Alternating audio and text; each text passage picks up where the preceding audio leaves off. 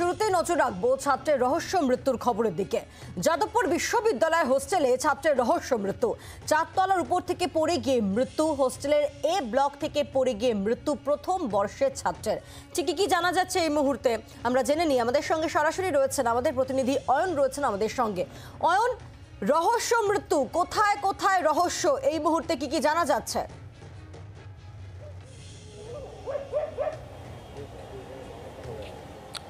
প্রথম প্রশ্নের যে উত্তর, সেই উত্তর সেটা হচ্ছে ইতিমধ্যেই যাদবপুর থানার পুলিশ তারা এই গোটা ঘটনাতে একটি সুও মোটো ইউডি, অর্থাৎ শতপ্রণোদিত অস্বাভাবিক মৃত্যুর মামলা রুজু করেছে।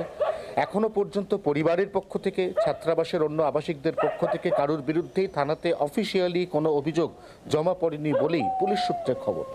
এক্ষেত্রে প্রশ্ন এক, কীভাবে ওই ছাত্র ছাদে গেল? প্রশ্ন দুই, ছাদে এক্স্যাক্টলি কি ঘটেছিল? প্রশ্ন তিন ছাত্র একা গেছিল নাকি তার সঙ্গে কেউ কেউ ছিল? প্রশ্ন চার, ওই ছাত্রাবাসেরই কি আবাসিক এই ছাত্র? পাঁচ, ঠিক কোন পার্সপেক্টিভে প্রথম দিনের ক্লাস এই ছাত্রটি অ্যাটেন্ড করল না? কারণ যাদবপুর বিশ্ববিদ্যালয়ের মতো একটি অত্যন্ত গ্ল্যামারাস বিশ্ববিদ্যালয়, সেখানে স্নাতকের প্রথম বর্ষ, অর্থাৎ বিশ্ববিদ্যালয়ের আঙিনায় পা রাখার প্রথম বর্ষের প্রথম দিনের ক্লাস একটি ছাত্র কেন অ্যাটেন্ড করল না? এই যাবতীয় প্রশ্নের উত্তর খোঁজার চেষ্টা হচ্ছে। ইতিমধ্যে কলকাতা পুলিশের তরফে একটি মেসেজ ইস্যু করা হয়েছে, যেখানে বলা হয়েছে যে মাল্টিপল ইনজুরি রয়েছে শরীরে, অর্থাৎ একাধিক আঘাতের চিহ্ন। শুধু ছাদ থেকে পড়ে যাওয়ার আঘাত, নাকি ছাদ থেকে পড়ে যাওয়ার আগেও তার শরীরে একাধিক আঘাত ছিল? এর উত্তর দিতে পারবে ময়নাতদন্তের রিপোর্ট। অর্থাৎ এই মুহূর্তে ময়নাতদন্তের রিপোর্টের জন্য পুলিশ অ্যাকচুয়ালি অপেক্ষা করছে যেই মুহূর্তে রিপোর্ট হাতে আসবে। সেই মুহূর্তে মৃত্যুর প্রকৃত কারণ বোঝা যাবে এবং ছাদ থেকে পড়ে যাওয়ার আগে যদি তার শরীরে ইঞ্জুরি বা ক্ষতস্থান এগুলি পাওয়া যায়, তাহলে সেক্ষেত্রে গোটা বিষয়টি অন্যদিকে ঘুরে যাবে। অর্থাৎ এখন সব কিছুই নির্ভর করছে ময়নাতদন্তের রিপোর্টের জন্য। ভোর সাড়ে চারটে অফিসিয়ালি তাকে মৃত বলে ঘোষণা করা হয়েছে এবং টেকনিক্যালি সব মিলিয়ে হয়তো বেলা আড়াইটি বা তিনটের পরে তার প্রাথমিক ময়নাতদন্তের রিপোর্ট হাতে পাবে পুলিশ এবং তারপরেই তদন্তের যে প্রকৃত অভিমুখ তা পরিচালিত হবে পায়েল। অয়ন, যাদবপুর বিশ্ববিদ্যালয়। বিশ্ববিদ্যালয়ের পক্ষে কিছু কি বলা হচ্ছে? এখন এই মুহূর্তে দাঁড়িয়ে এবং একই সঙ্গে ওই ছাত্র হোস্টেলে যাদের সঙ্গে ছিলেন, অর্থাৎ তার বন্ধুদের সঙ্গে, তাদের সঙ্গে কথা বলে এখন অবধি পুলিশ প্রাথমিকভাবে কিছু অনুমান করতে পারছে?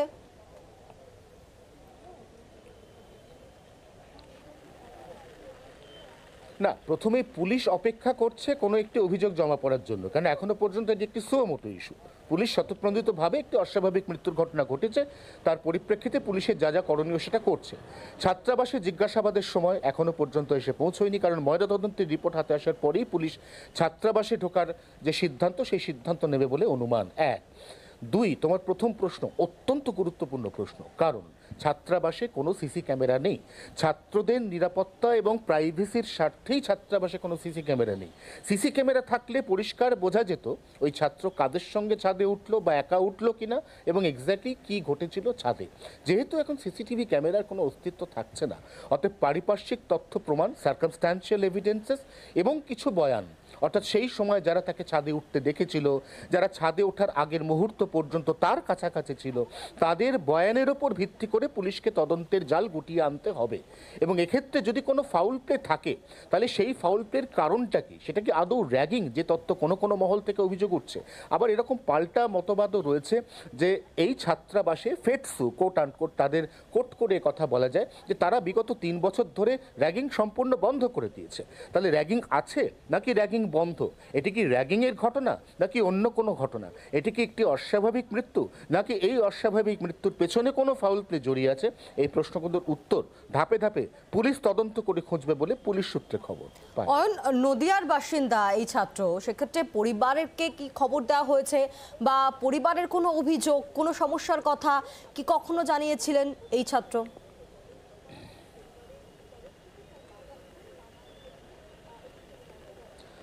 পরিবারের সঙ্গে ছাত্রের বাবার সঙ্গে ইতিমধ্যেই যাদবপুর থানার পুলিশ কথা বলছে। বাবার দেওয়া একটি একটি করে তথ্য অনুযায়ী পুলিশ বোঝার চেষ্টা করছে ঠিক কী ঘটেছিল। এবং এখানে প্রথম বাবাকে প্রশ্ন করা হয়েছিল যে এই ছাত্র সে কি এই ছাত্রাবাসেরই ছাত্র? নাকি সে অন্য কোনো ছাত্রাবাসে থাকে কলকাতায় সেখানে সে স্থান সংকুলন হচ্ছিল না বা অন্য কোনো টেকনিক্যাল কারণে সে হঠাৎ করে যাদবপুর বিশ্ববিদ্যালয়ের মেইন হোস্টেলে এসেছিল? এক। এবং দুই, তার কি কোনো মানসিক সমস্যা হচ্ছিল? নাহলে আবারও বলছি, প্রথম দিনের ক্লাস, যাদবপুর বিশ্ববিদ্যালয়ের মতো একটি অত্যন্ত গ্ল্যামারাস ইউনিভার্সিটি, ছাত্রটির বিশ্ববিদ্যালয় জীবনের প্রথম দিন। সে কলকাতাতেই রইল। সে যাদবপুরেই রইল, কিন্তু সে ইউনিভার্সিটির ক্লাস অ্যাটেন্ড করল না। এর পেছনে বিশেষ কোনো কারণ রয়েছে কিনা, সেটাও একই সঙ্গে খতিয়ে জানার বা বোঝার চেষ্টা চলছে পায় অয়ন, তুমি শুরুতেই বলছিলে যে ছাত্রের দেহে একাধিক আঘাতের চিহ্ন আছে। তাহলে আঘাতের চিহ্ন, সেটা কি? এই মুহূর্তে দাঁড়িয়ে বিশেষ কিছু ইঙ্গিত?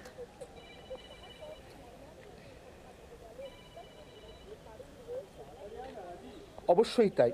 কারণ যদি ছাদ থেকে পড়ে যাওয়া কোনো একজন ছাত্র তার শরীরের আঘাত পুরনো থাকে অর্থাৎ সেই আঘাতটা যদি বাহাত্তর ঘণ্টা বা আটচল্লিশ ঘণ্টা আগে থাকে, তাহলে তাকে কোনোভাবে কি কোনো আক্রমণের শিকার হতে হয়েছিল? অর্থাৎ সেখানে কি অন্য কোনো তত্ত্ব উঠে আসে? সেটারও সেই প্রশ্নের উত্তর পাওয়া যাবে। এখন দেখতে হবে তার শরীরের এই যে একাধিক আঘাত, এই আঘাতগুলোর কোন আঘাতটা কত দিনের, কার মেয়াদ কতটুকু? এবং সেটা সম্পূর্ণভাবে জানা যাবে ময়নাতদন্তের রিপোর্ট হাতে আসার পর। এবং তারপরই পুলিশ প্রকৃত বুঝতে পারবে, মোটামুটি কনসিকুয়েন্সটা আন্দাজ করতে পারবে অন্তত, যে আগে কতগুলি আঘাত ছাদ থেকে পড়ে যাওয়ার সময় বা পড়ে যাওয়ার পরবর্তী আঘাত কোনগুলি? যদি আগের আঘাত অধিকতর গুরুতর হয়, খুব সিরিয়াস ইঞ্জুরিজ থাকে, তাহলে সেই ইঞ্জুরির কারণ কি? সেইভাবে পুলিশের তদন্তের মোড় ঘুরবে। অর্থাৎ সবটাই আবারও বলছি, পায়েল, এই মুহূর্তে সম্পূর্ণরূপে নির্ভর করছে ময়না তদন্তের প্রাথমিক রিপোর্টে ঠিক কি উঠে এলো তার উপর। অয়ন আমাদের নজর থাকছে ময়না তদন্তের রিপোর্টে। ঠিক কি বলা হবে প্রাথমিক যে রিপোর্ট? ধন্যবাদ তোমাকে। আমাদের সঙ্গে সরাসরি ছিলেন আমাদের প্রতিনিধি অয়ন ঘোষাল। যাদবপুরে, যাদবপুর বিশ্ববিদ্যালয় ছাত্রের রহস্য মৃত্যু এবং সেই রহস্য মৃত্যুকে কেন্দ্র করে একাধিক প্রশ্ন উঠছে। বাংলার আওয়াজ, বাঙালির আবেগ। জি, চব্বিশ ঘণ্টা।